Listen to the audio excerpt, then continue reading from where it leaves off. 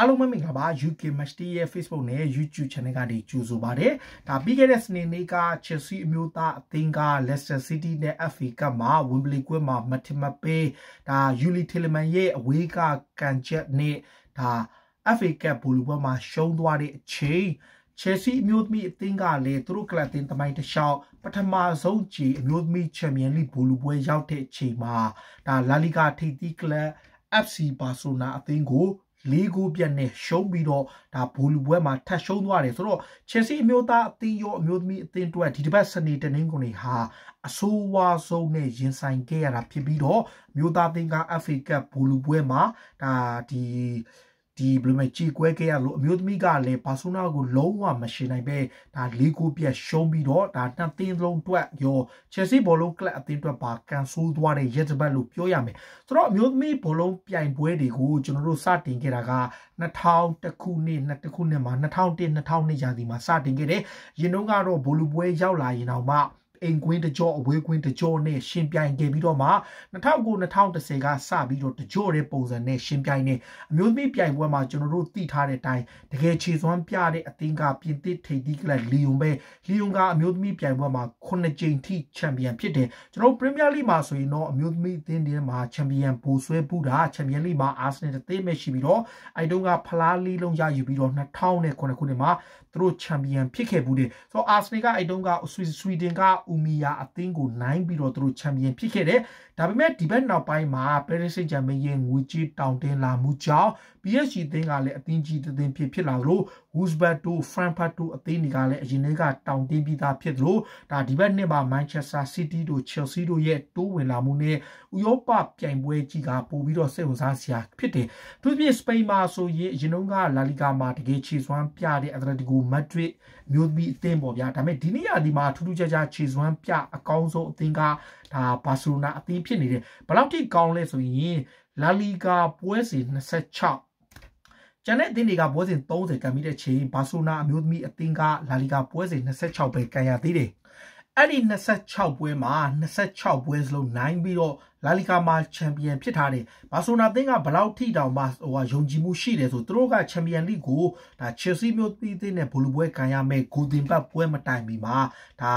လာလီဂါချန်ပီယံဖြစ်လို့ဆိုပြီးတော့ဒါ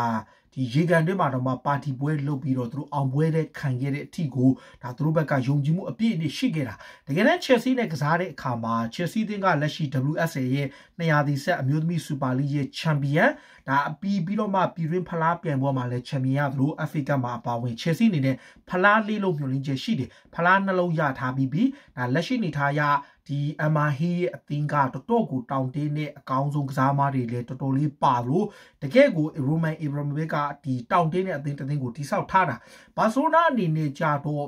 ချန်ပီယံလိပြိုင်ပွဲရဲ့ဘူလူပွဲအဆင့်ကိုသူတို့2019တုန်းကတက်ခဲ့ဘူးတယ်အဲတုန်းကဘူလူပွဲမှာပဲဒါဒီအမျိုးသမီးဘောလုံးပြိုင်ပွဲရဲ့အင်အားကြီးအသင်းဖြစ်တဲ့လီယွန်ကိုသူတို့က၄ဂိုးတကိုးနဲ့သူတို့ရှုံးပြီးတော့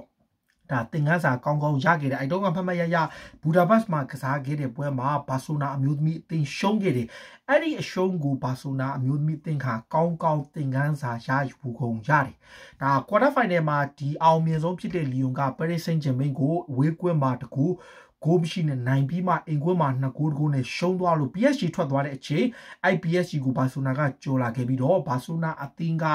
ဒီ Man City ကိုကြော် PSG ကိုကြော်ပြီးတော့ဗိုလ်လူပွဲတက်လာတယ်တစ်ဖက်က Chelsea ကလည်း Atletico Madrid တို့ဒါတစ်ဖက်မှာဒီ Bayern Munich တို့ကိုကြော်ပြီးဗိုလ်လူပွဲရောက်တဲ့အချိန်ဒါဆွီဒင်နိုင်ငံဂိုတင်ဘတ်ကွင်းမှာကန်နေဒါဒီပွဲမှာဘာဆိုနာအသင်းကအရန်ကိုခတ်သွက်သွက်နဲ့ပဲပထမပိုင်း36မိနစ်မှာပဲ၄ဂိုးပြတ်ထိသွင်းလိုက်တယ်ဒီဒီပွဲမှာဘာဆိုနာရဲ့ပွဲစစက္ကန့်33မှာပဲဒါဘယ်လိုပြောမလဲဒါဘာဆိုနာအသင်းကအစောကြီးကိုရသွားတယ်ဒါကန်ဆိုးတော့တာကဒါလီဂယ်မာတင်ဆွဲယူလာပြီးကန်လိုက်တဲ့လုံးကနေဘာဒန်တီဗီပြန်ကျလာတဲ့အလုံးကိုဒါချယ်ဆီနောက်ခံလူတွေရှုပ်ရှက်ခတ်တဲ့ရှင်းရကကိုဒီဘောလုံးသမားကချယ်ဆီနောက်တန်းရှင်းနေမှာကိုလူနဲ့ကိုတီဗီဒီဖလက်ဖီဗီဂိုးတွေကိုတန်းဝင်သွားတာဒါကန်ဆိုးသွားတယ်နောက်တစ်ခုက14မိနစ်မှာဘာဆိုနာပနယ်တီထက်ရသွားတာကလေဒီပွဲအလှည့်ပြောင်းဖြစ်သွားသလိုဒါအဲ့နောက်ပိုင်းမှာတော့ဘာဆိုနာကတောင်းလျှောက်ကိုခြေစွမ်းပြရင်း36မိနစ်မှာပဲ၄ဂိုးပြတ်သွင်းသွားတယ်ဒီနေရာမှာပြောချင်တာက Chelsea အနေနဲ့တကိုးကိုမရှိတဲ့စက္ကန့်33စက္ကန့်မှာရှုံးနေတဲ့အချိန် ခြေပါကိုအပိုင်ခွင့်ရမယ်အခွင့်အပိုင်နှစ်ချိန်ရတယ်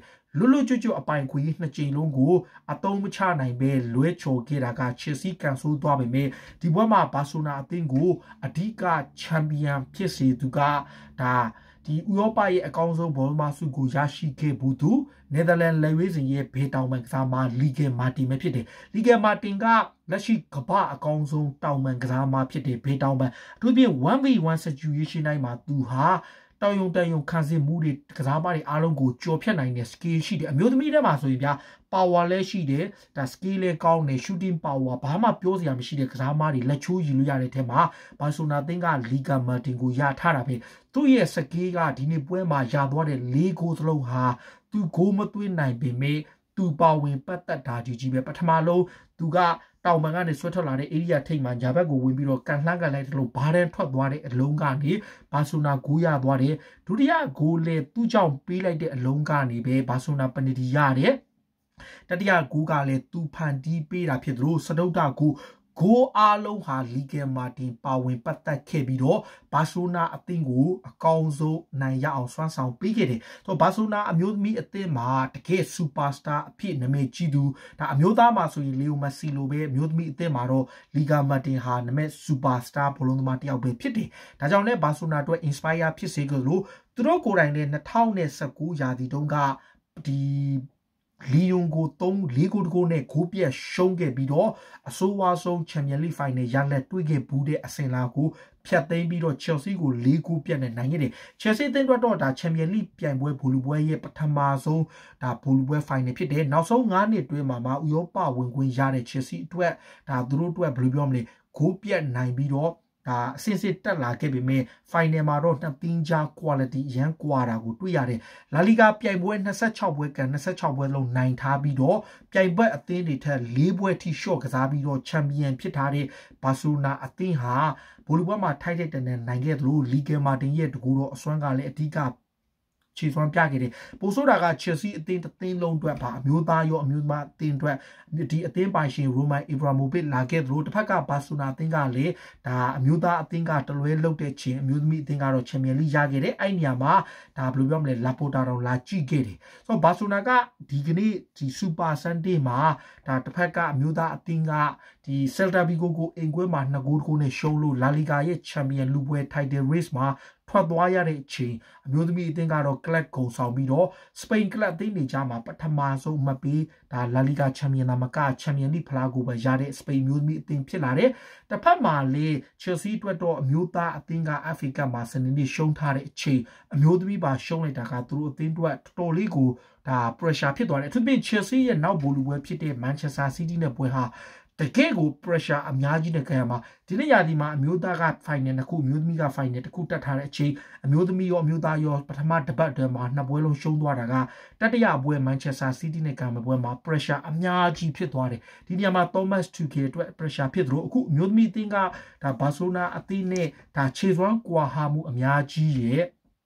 တကယ်ဥရောပအကောင်းဆုံးဘောလုံးသမားတွေမှာတတ်မှတ်လို့ရတဲ့ဒါတကူတော်စွမ်းရည်မြင့်တဲ့လီဂေမာတီလိုကစားသမားတွေကြောင့်သူတို့ရှုံးသွားခဲ့တာဒါတကယ် quality ကွာခြားတဲ့နှစ်သင်းကြောင့်လည်းဖြစ်သွားပေမဲ့ Chelsea မျိုးသားအသင်းအတွက် Thomas Tuchel ရဲ့အသင်းအတွက်တကယ်ကို pressure များနေပြီးအမျိုးသားရောအမျိုးသမီးတွေရောနှစ်ပွဲရှုံးထားတော့ဒါတတိယ final ဖြစ်တဲ့ Manchester City နဲ့ဒါဘယ်လိုပြောမလဲဘိုလ်ပွဲကံမဲ့ပိုတိုကွင်းမှာဘလို့တော်တော်လေးကို pressure ရှိနေတယ်လက်ရှိမှာတော့ လာမယ့်ရာသီမျိုးသမီးချန်ပီယံလိပြိုင်ပွဲရဲ့ဘူလီပွဲကို Juventus ရဲ့ Arianza Arena ဒီ Juventus ရဲ့ Juventus Stadium Turin မှာကမှာကျင်းပမှာဖြစ်ပြီးတော့နောက်တရာသီမှာတော့ဒါ Telephilip Stadium မှာဖြစ်မယ်အင်္ဂလိပ်ကလပ်တွေထဲမှာတော့ Arsenal က2000ခုမှာချန်ပီယံဖြစ်ခဲ့ပြီးတော့ပြင်သစ်ကလီယွန်ကတော့အမျိုးသမီးပြိုင်ပွဲမှာ ခုနှစ်ကြိမ်ချန်ပီယံဖြစ်သလိုဒါဂျာမန်ကလပ်ဒါဘယ်လိုပြောမလဲဖရန့်ဖတ်က၄ကြိမ်ချန်ပီယံဖြစ်ပြီးတော့နှစ်သိန်းကြီးချန်ပီယံရတဲ့တဲ့မှာဝူစဘတ်တို့ဒီအမီယာတို့ဒီအသင်းတွေဖြင့်ဘာဆိုနာအတွက်တော့ပထမတစ်ကြိမ်ပထမဆုံးကြိမ်ချန်ပီယံဖြစ်ခဲ့ပြီးတော့အောင်မြင်ခဲ့လို့ Paris Saint-Germain အတွက်ဒါဒုတိယကြိမ်နှစ်ကြိမ်ရထားခဲ့ပြီးတော့ဒါ Chelsea အတွက်တော့ဒါသူတို့ရဲ့ပထမဆုံးကြိမ်ဘူလီပွဲမှာ ဂိုးပြတ်ရှုံးနေသွားခဲ့ပြီးတော့တေချာတော့ Chelsea အသင်းကဒီအမားတွေဒီလိုအတွေ့အကြုံ final နေတာကဒါသင်ခန်းစာယူတာဘာဆိုတော့ဆိုလဲ PS ဒီလီယွန်ကိုဂိုးပြတ်ရှုံးခဲ့တဲ့ဟာကိုသင်ခန်းစာယူပြီးတော့နှစ်နှစ်အကြာမှာချန်ပီယံဖြစ်ခဲ့တယ်ဒီဒီဒီယာမှာထူးခြားတာကဘာဆိုနာအသင်းကဒါဂိုးပြတ်ရှုံးသွားတဲ့အချိန်မှာကစားမအသစ်တွေကိုအများကြီးမဝယ်လိုက်ပဲအားလုံးက သူသူတို့ရဲ့လူငယ်အကယ်ဒမီကကြီးတက်လာပြီးတော့စပိန်ကစားမားတွေကြီးနေပဲလူနိုင်ငံခြားသားဆိုလို့ဘာဆိုနာမျိုးသမီးတွေမှာ၄၅ယောက်လောက်ပဲရှိတယ်ပဲကျန်တာအကုန်လုံးကစပိန်နေကြီးပဲဒါကတစ်ချက်တော့ထူးခြားစရာပါဘာဖြစ်ဖြစ်ပါဒါဘာဆိုနာအမျိုးသမီးအသင်းတွက်ဒါချန်ပီယံလိပြိုင်ပွဲရဲ့ပထမဆုံးဒါစပိန်မျိုးစပိန်ကလပ်တင်းရဲ့ချန်ပီယံလိချန်ပီယံဖြစ်လာသလိုချယ်ဆီတွက်တော့အမျိုးသားအမျိုးသမီး နှစ်သင်းစလုံးဒါတပတ်အတွင်းစနေတင်းတွေမှာနှစ်ပွဲဆက်ဖိုင်နယ်ရှုံးသွားခဲ့တာပါပြည်သက်တွေကရောအမျိုးသမီးချန်ပီယံလိပြိုင်ပွဲတွေပေါ်ဘယ်လိုမြင်ကြလဲလာမယ့်ရာသီချယ်ဆီအသင်းရဲ့အကရောနောက်တစ်ချိန်အခွင့်အရေးပြန်ရမလားတတရဘူလူပွဲအဖြစ်ရင်ဆိုင်ရမယ့် Chelsea အမျိုးသားအသင်းက Man City နဲ့ပွဲမှာရော pressure တွေဘယ်လောက်ရှိနေပြီလဲကိုယ့်ရဲ့အမြင်လေးတွေကို comment မှာဝင်ရောက်မှတ်ချက်ပေးကြပါလို့ပြောနေအားလုံးကိုကျေးဇူးတင်ပါတယ်အရေးတော်ပုံအောင်ရမည်